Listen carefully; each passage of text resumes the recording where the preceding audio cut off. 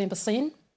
بالطبع نواصل إذا دائما في الصين. احتل مركز تدريب الذاكرة لولاية تيارت. احتل المرتبة الثالثة عالميا بمدينة شينزن الصينية بمشاركة ثلاث منافسين وهذا بإشراف المدرب صلاح الدين جيلح وكذلك ناصر العزيزي.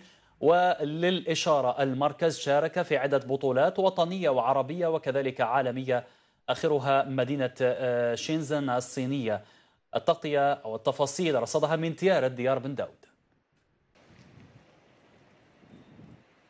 بالنسبة لمشاركة المنتخب الجزائري في بطولة العالم اللي أقيمت بالمدينة شينزن الصينية الحمد لله أنهم شرفوا الجزائر اللي كانت المشاركة تاعهم برعاية مؤسسة الذكاء بالقائد تاعها اللي هو الكوتش صلاح الدين جيلح اللي هو كان الراعي الرسمي تاع الفريق المشارك واللي قدم لهم كل الدعم والدعم المعنوي والمادي في نفس الوقت. آه الحمد لله بفضل الله سبحانه وتعالى ثم بفضل هذا الإنسان اللي قدر المنتخب الجزائري إنه يشارك في البطولة العالمية.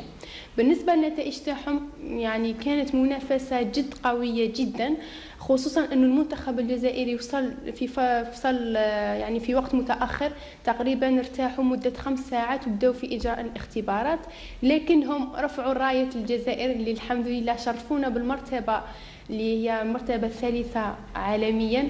يعني الجزائر قفزت قفزة نوعية. العام الماضي كنا المرتبة الثامنة عالميا.